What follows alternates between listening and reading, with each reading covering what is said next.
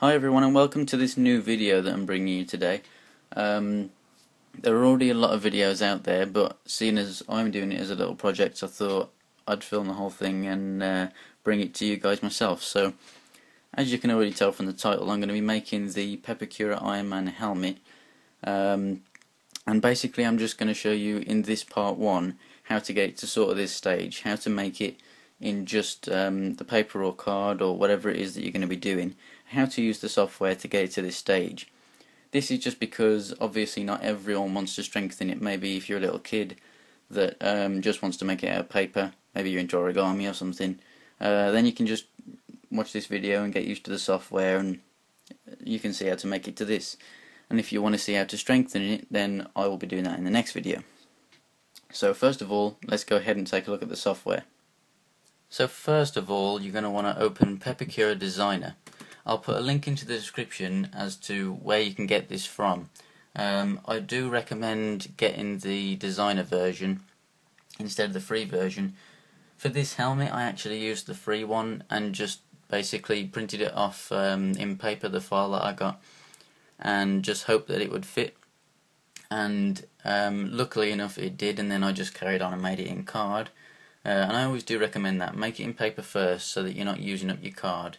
Um, and then it's not very expensive for you. But follow the uh, link in the description. Get Designer.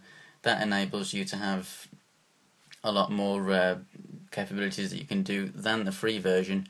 But also, if you register, then you'll be able to scale it and save it.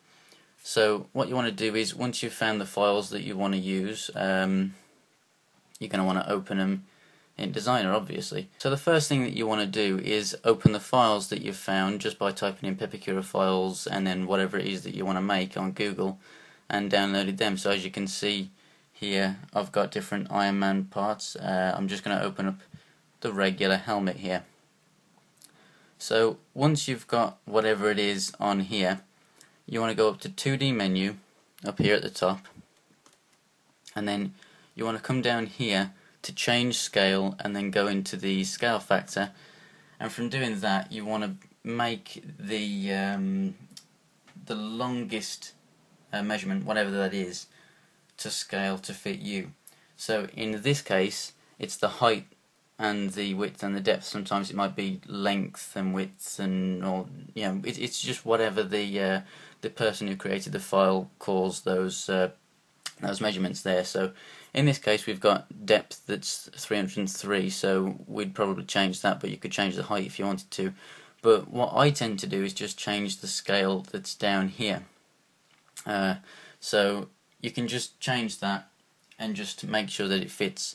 And then once you've got the largest measurement to fit so normally from your chin to top of your head or something or in case of armor if you're doing your forearm then it would be your wrist to your uh, your elbow or something, once you've done that, what you can do is check if it's actually going to fit. So if you're doing a wrist, you want to make sure that your wrist can actually get through that hole. Um, or in this case, yeah, the helmet might be the right size for you, but can you actually fit your head through that hole at the bottom? So what you're going to want to do is right click um, over on this right hand side of the screen and you want to check measure distance between two points and that's going to be right at the bottom.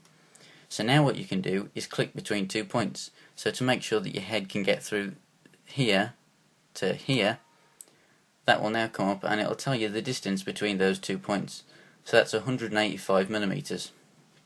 So then you can go ahead and just check and see if that measurement will fit over your head. And if not, then just change the scale factor up just a tad and then just keep checking like that until you've got a helmet that's going to fit you.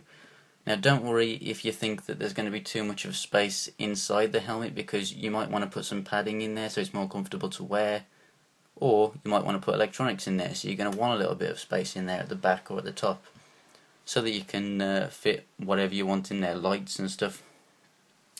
So now, once you've changed the scale, some things over here might not fit in the pages so you're just going to want to move them around and make sure that they all fit then you can go ahead and print so what you want to do is you want to go into settings and print and paper settings you, if this is in landscape, make sure it's landscape or portrait, vice versa, you know.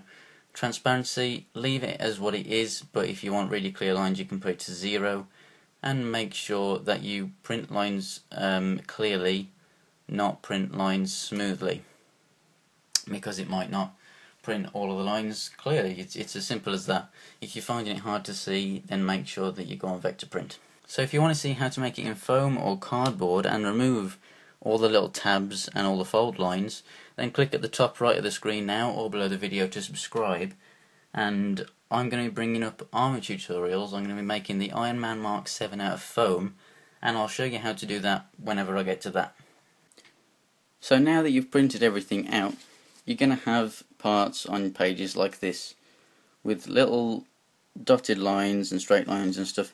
If it's a flat line, you cut it.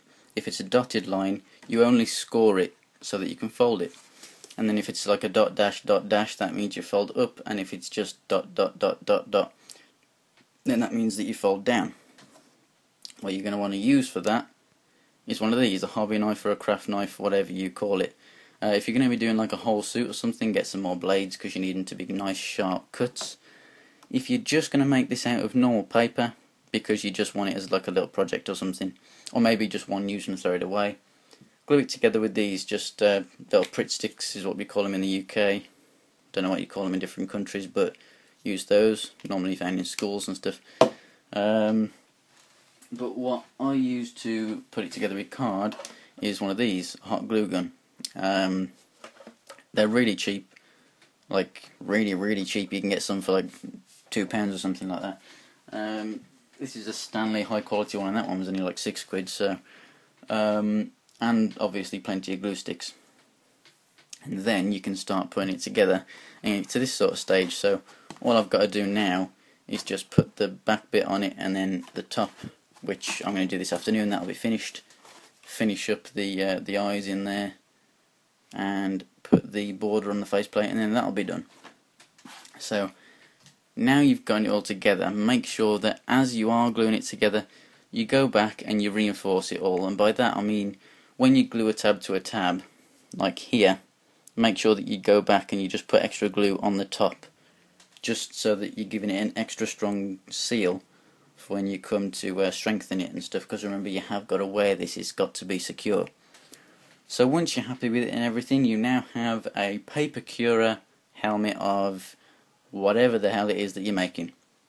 So now, if you want to strengthen it, go ahead and, as I said earlier, click on the subscribe button and you'll see, I think next week is when my stuff's going to be coming. I've got fiberglass and resin and everything.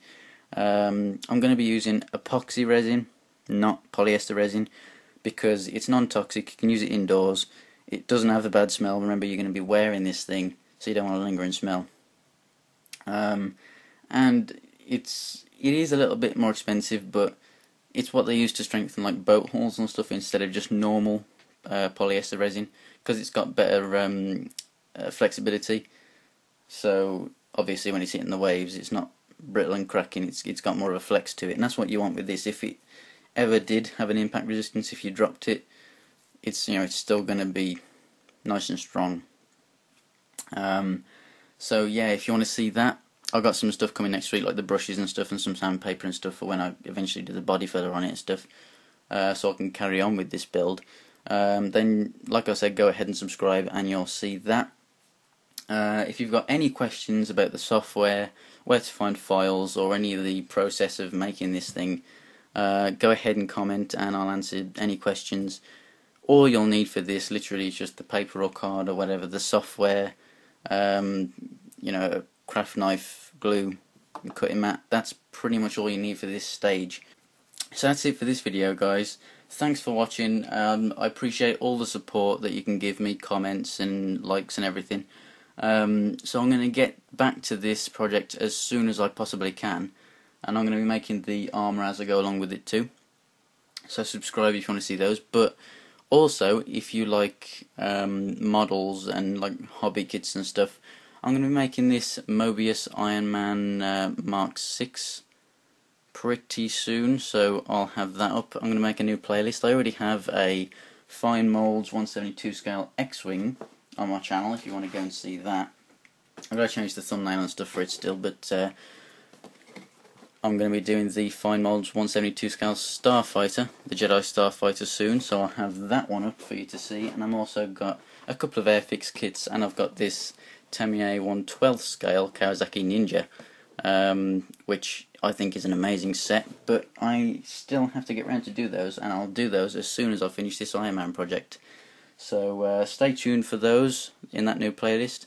I've got some new uh, figure reviews coming up and obviously I'm going to have these videos uh, churning out pretty soon too. So thanks for watching, I hope this helped, and I'll see you next time.